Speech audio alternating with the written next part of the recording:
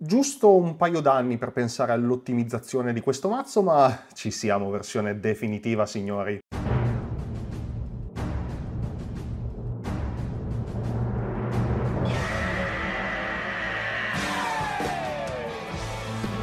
Il mazzo del popolo, signore e signori, grande, grandissima richiesta. Avete tutti urlato a gran voce, chiesto la deck tech definitiva di questo mazzo ed eccoci oggi per mostrarvela. Ci è voluto tempo, ci è voluto un bel po' di tempo, lo so, siamo in questa posizione alquanto strana, perdonatemi, voglio fare dei test e credo che questo sia il mazzo giusto per chiedervi un paio di feedback. È una posizione mobile fatta da iPad, editerò tutto da iPad, quindi mi raccomando nel caso il video, il mazzo, l'audio, tutto quanto dovesse piacervi lasciate un bel like, arriviamo ad almeno 100 like per vedere questo mazzo giocato in partita. Giruda Doom of Depths, bellissima questa versione foil, oil, slicked, holo, come cavolo si chiama. Quando Giruda entra nel campo di battaglia ogni giocatore macina 4 carte. Tra le carte macinate scegliamo una creatura con costo di mana pari e la mettiamo in campo sotto il nostro controllo. Saprete già che ho impostato questo mazzo in una maniera davvero davvero particolare davvero tanto stupida quanto efficace, ovvero ho riempito il mazzo di cloni, di carte che clonano, di creature che clonano una creatura, che entrano in campo come una creatura, di modo da far ritriggerare l'abilità di Giruda e vincere di macina. Ho condito tutto ciò ovviamente con qualche counter, qualche elemento di control, qualche creatura comunque utilities e soprattutto carte che raddoppiano, triplicano, quadruplicano i trigger.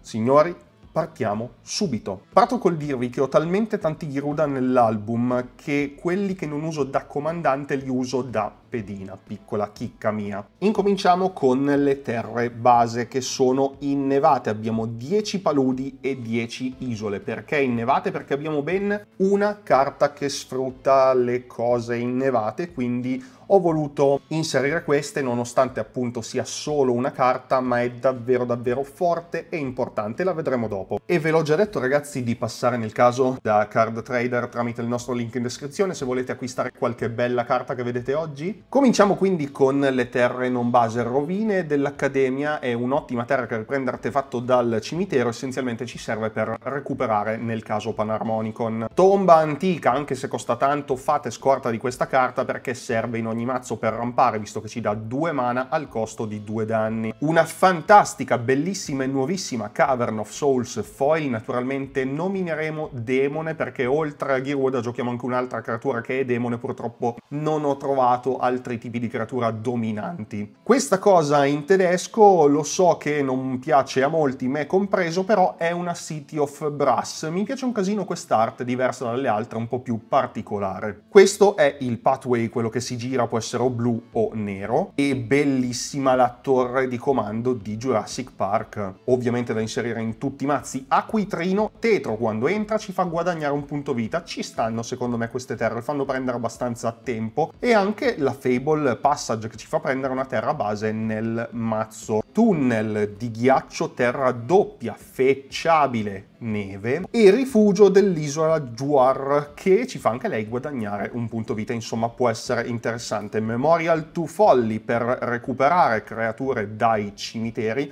ovviamente una bellissima fetch blu nera, naturalmente carta interessantissima Porto di Carfel che entra tappato aggiunge blu e ci fa eventualmente con la sua abilità macinare e rianimare, il che è una cosa ovviamente super sinergica. Andiamo avanti con il Tempio per profetizzare.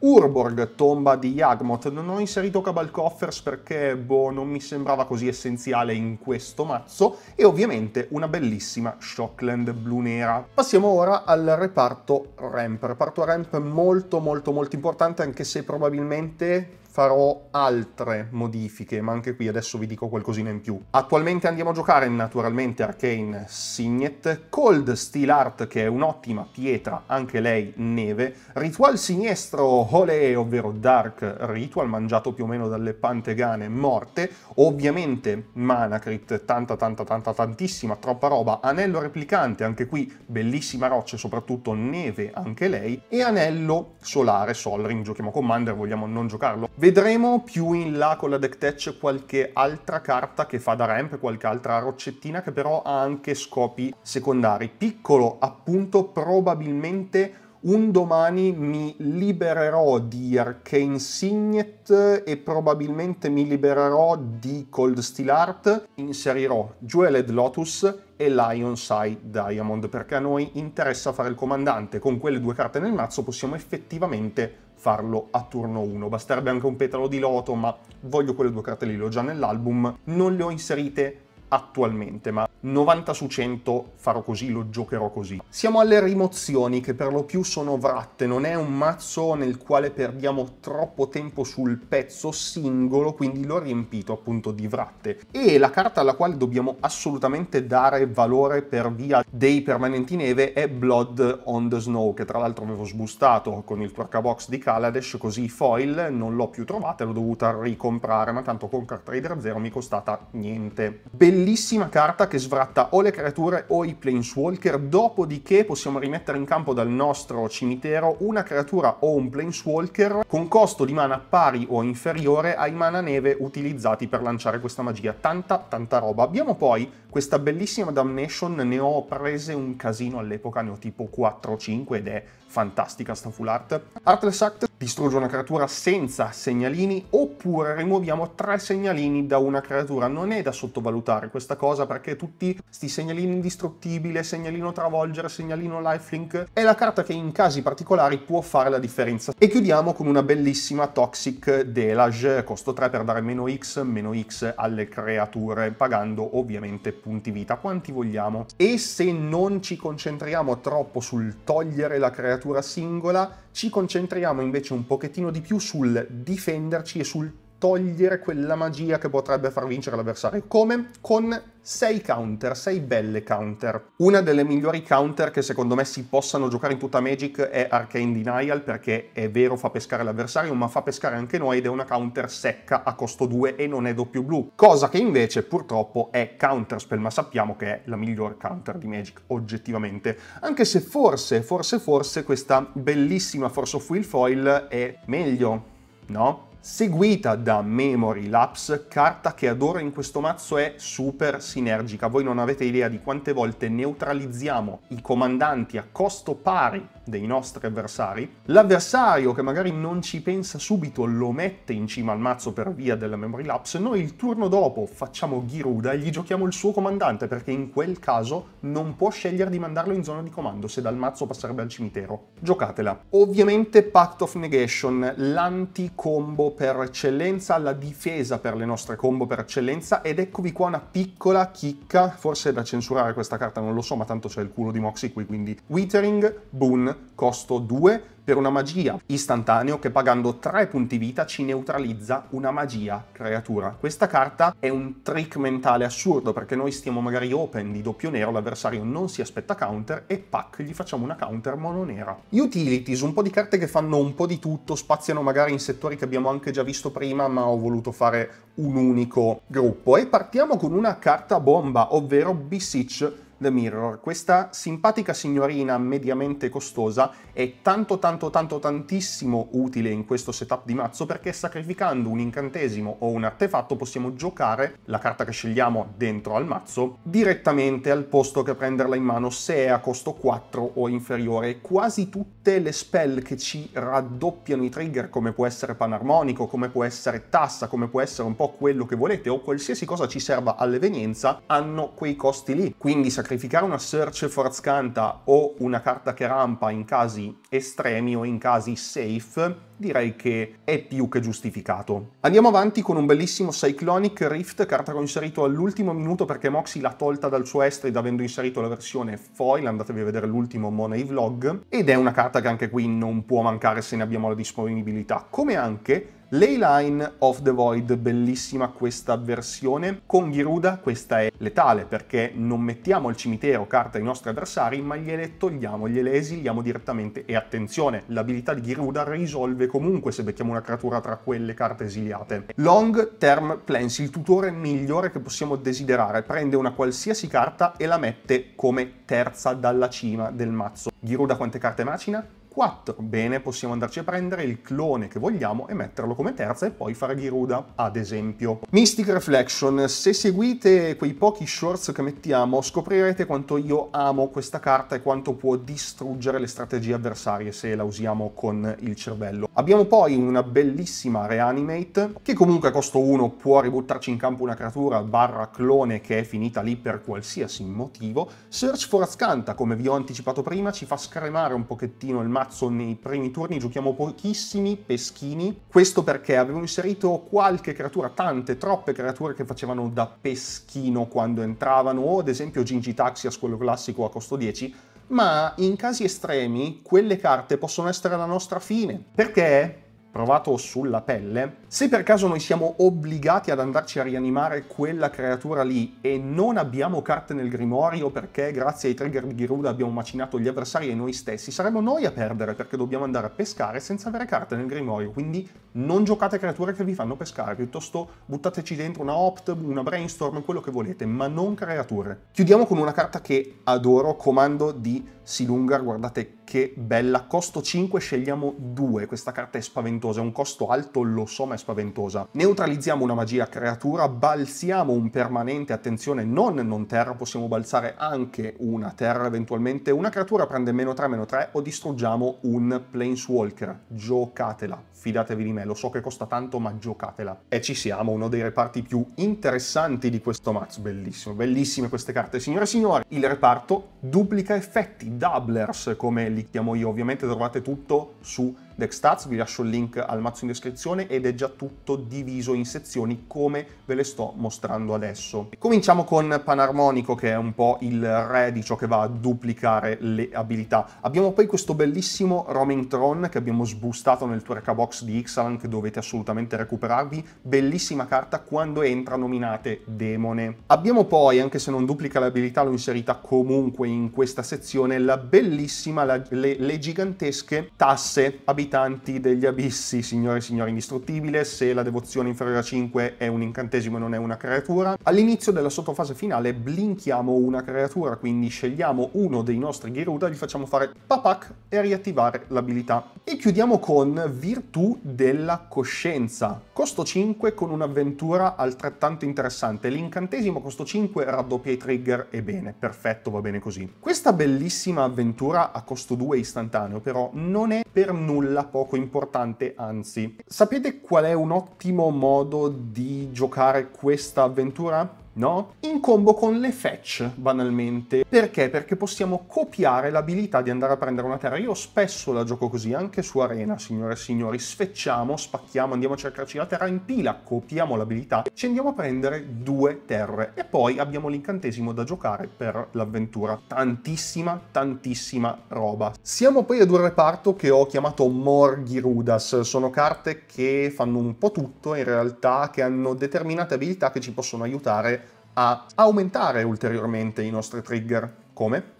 Beh, lo vediamo subito. Cominciamo con sangue per ossa. Questo rianimino non è un rianimino qualunque. È un costo 4, quindi abbastanza alto. Come costo addizionale per lanciarlo dobbiamo sacrificare una creatura. E qui mi fermo. Quando paghiamo il costo non dobbiamo già aver scelto il target. Questo a cosa ci serve? Ci serve perché questa carta rimette sul campo di battaglia una creatura dal cimitero e ce ne fa riprendere in mano un'altra. Bene, sapete cosa possiamo fare con questa cosa? Pagare 4, sacrificare il nostro Giruda o un clone di Giruda o qualcosa del genere, per poi rianimarlo subito e riprenderci anche in mano un'altra creatura eventualmente, aumentando quindi la possibilità di creare trigger. Andiamo avanti, andiamo avanti, carta interessante, vero? Con Glasspool Mimic ci fa principalmente da terra ed è un clone a costo 3, quindi che non possiamo rianimare con Giruda, ma in casi estremi il costo 3 è basso, se no lo utilizziamo come terra, tranquillo, tranquillo, tranquillo, poi fa il full art bellissimo. Machine God Effigy, io devo ringraziare i TTP per avermi mostrato questa carta nella partita che ho fatto sul loro canale contro di loro, è stata bellissima, ragazzi, andatevela a vedere. Entra nel campo di battaglia come copia di una creatura, eccetto che è un artefatto e non è una creatura. Possiamo farlo ovviamente, non è obbligatorio, se no possiamo usarla come roccia per dare mana blu. Malaki Rebirth, scegliamo una creatura, perdiamo due vite fino a fine turno, se quella creatura sta per morire la rimettiamo sul campo di battaglia tappata. Vuol dire naturalmente Giruda muore, Giruda viene sacrificato, c'è la regola del leggendario da risolvere, fatelo prima naturalmente perché non passa dalla pila. La utilizziamo preventivamente e la creatura ritornerà in campo per riattivare le abilità. Incisione planare e ve la metto assieme contrazione temporale di Teferi, due carte fantastiche che semplicemente blinkano un pezzo, istantanei a costo 2 ci possiamo anche salvare le nostre creature, disperdere nel vento carta carina perché in casi estremi può essere usata anche per altre cose. Esiliamo un permanente non terra bersaglio finché quella carta rimane esiliata il suo proprietario può lanciarla senza pagare il suo costo di mana. Vero, possiamo giocarla su Giruda e rigiocarlo senza pagare il costo di mana? Ok. Ma farla in end su una creatura avversaria che ci dà fastidio e quindi non facendogliela rilanciare lanciare perché siamo in end, può comunque venire buona. E chiudiamo con una delle carte delle espansioni scherzo, delle espansioni scherzo, sì, oggi ci sono, giocabili in Commander. So in half, segato in due, credo sia il tizio sull'arte di ad nauseam, Moxie mi confermerà. Distruggi una creatura bersaglio, se quella creatura muore in questo modo, il suo controllore crea due creature che sono la copia di quella creatura, ma con metà forza e costituzione. Tanti piccoli mini ghirudini. Oppure rimozione che va su una creatura che ci dà fastidio e che magari non ci crea troppi problemi se entra in campo più piccolo, insomma, sfruttatela come volete. Ehm, ok, siamo al reparto cloni. Tutte le carte che possono clonare creature permanenti di Magic the Gathering a costo pari le ho buttate dentro, tutte, a prescindere da abilità secondarie, da fa questo, non fa quello, leggendario, non leggendario, tutto, tutto ciò che quando entra mi copia Giruda, mi fa riattivare l'abilità, io l'ho buttata dentro. Abbiamo quindi Autumn Soldier, assassina Callidus che distrugge eventualmente anche una creatura. Abbiamo poi ovviamente Impostore Scaltro che copia un permanente clone, ovviamente un classico gemello cattivo, perché c'è sempre il gemello buono e il gemello cattivo e le due gemelle buone. Non ho detto niente. Flash Duplicate che dopo un po' si spacca, ma sinceramente non interessa poco. Gigantoplasma, guardate che carino. Mirror Hall Mimic, importante tantissime queste che si rigiocano dal cimitero, lei entra come incantesimo che mette copie dopo, ma comunque bella bella. Ovviamente immagine fantasma, costo 2, metamorfosi, Firexen, interessante anche per copiare i ramp nei primi turni. Sakashima of Thousand Faces, questo non fa applicare la regola del leggendario, come anche Sakashima l'impostore, e Sakashima Sprotige, Protege, Protege come cavolo si dice, che invece copia una creatura entrata in campo in questo turno, non è un problema di solito. Studente di Sakashima, quanti tanti, troppi Sakashima, clone della scintilla, spettacolare anche lui, non è leggendario. Stunt, double, bellissimo undercover operative che prende un segnalino scudo, quindi magari ci salva da una rimozione una volta. Visir dei molti volti, tanta roba, imbalsamare la rigiochiamo dal cimitero tranquilli tranquilli e muro dell'identità rubata. Come avete visto sono proprio due in croce, diciamo che le possibilità di beccare un clone sono alte anche solo con un trigger, con due 2, 90 su 100. Se proprio Gesù non ci ha lanciato qualche... Gesù lancia le magie, giusto? Sì, Gesù lancia le magie. Qualcosa di strano, diciamo che li becchiamo, ne abbiamo e abbiamo anche altre cose. Abbiamo praticamente finito, ma voglio mostrarvi delle creature che o aiutano il buon Giruda a effettuare altri trigger, o che sono buone se entrano soprattutto con trigger multipli. Andiamo con calma perché vanno spiegate tutte. Cemetery Desecrator è un ottimo 8 per i cimiteri, toglie carte dai cimiteri. Questo lo fa quando entra e quando muore, minacciare 4-4. Dopodiché o diamo meno X, meno X a una creatura dove X è il costo di mana della carta che abbiamo esiliato, oppure rimuoviamo X segnalini da un permanente, non per forza creatura, quindi magari eliminiamo anche i Planeswalker, chi lo sa. Dead Eye Navigator È il clone che non dice di essere un clone, perché comunque entra in campo, facciamo soulbound e pagando due continuiamo a blinkare, quindi tanta tanta roba. Din Rova Horror, una delle mie carte preferite. Questa quando entra balza un permanente a un giocatore e quel giocatore poi scarta una carta permanente, anche terre. Questo con trigger multipli, tassa che lo rifà copie su copie è letale più di Giruda. Hostage Taker forse è una delle carte più semplici ma più difficili del mazzo. Perché? Costo 4, quando entra scegliamo un artefatto o una creatura e le esiliamo finché lui è in gioco. Inoltre possiamo lanciare le carte esiliate con lui spendendo mana come se fosse di qualsiasi colore. Immaginatevi questa carta con un trigger doppio, è un po' complicata questa cosa, un trigger doppio, non starò a farvela troppo lunga. Possiamo creare con questa carta, ovviamente con molto mana e ragionandoci un pochettino, un loop di hostage taker che vengono clonati e che quando vengono esiliati fanno rimettere Giruda in campo, i cloni di Giruda in campo e che poi esiliano di nuovo quello che li tiene esiliati per farli rientrare e continuare all'infinito. Non ho capito neanche io, non, non so cosa sto dicendo, ma si può fare, l'ho fatto più volte. Entro lo esilio, entro l'esilio e l'altro pezzo che entra, che non è un clone, è un Giruda in qualche modo. Vi garantisco che si può fare, lo ripeto, lo so, lo so, sono confusionale, ma si può fare. Abbiamo poi un Eldrazi, ho inserito Kozilek, ma anche Ulamog è uguale, oggettivamente è qui solo ed esclusivamente per rimescolare il cimitero. Poi io, se lo vogliamo giocare, non è che sia proprio una brutta carta. Massacre, Wurm, pulisce il campo, meno 2, meno 2 a tutte le creature controllate dagli avversari quando entra. Quando una creatura controllata da un avversario muore, quel giocatore perde due vite. Questo con trigger multipli è letale. Pastore degli incubi. Lui è bellissimo e sfrutta la regola del leggendario. Quando riusciamo a mettere lui in campo, noi non vogliamo giocare i cloni che annullano la regola del leggendario o non sono leggendari. Perché? Perché ogni volta che, ad esempio, lui in campo Giruda, entra un clone, sacrifico il clone per la regola del leggendario, lo mando al cimitero, lo esilio grazie alla sua abilità, creo una pedina 1-1 che è la copia del clone che entra come Giruda, ok, regola del leggendario, sacrifico il Giruda originale, non lo mando subito in zona di comando, lo mando al cimitero, si attiva la sua abilità, lo esilio, ovviamente questa volta lo mandiamo in zona di comando, creiamo un altro 1-1 regola del leggendario, sacrifichiamo uno dei due Giruda 1-1 e abbiamo 3-4 trigger in pila. E chiudiamo questo mazzo cervellotico, devo dire, in queste ultime fasi, con il Ciupacabra, che quando entra distrugge una creatura bersaglio controllata da un avversario. E anche lei, con trigger multipli, è tanta, tanta, tantissima roba. Wow, ce l'abbiamo fatta, signore e signori. Io vi invito a dirmi cosa ne pensate di codesto mazzo. È diventato uno dei miei pet deck, se vogliamo chiamarlo così, uno dei mazzi che più preferisco giocare, che più mi diverto a giocare.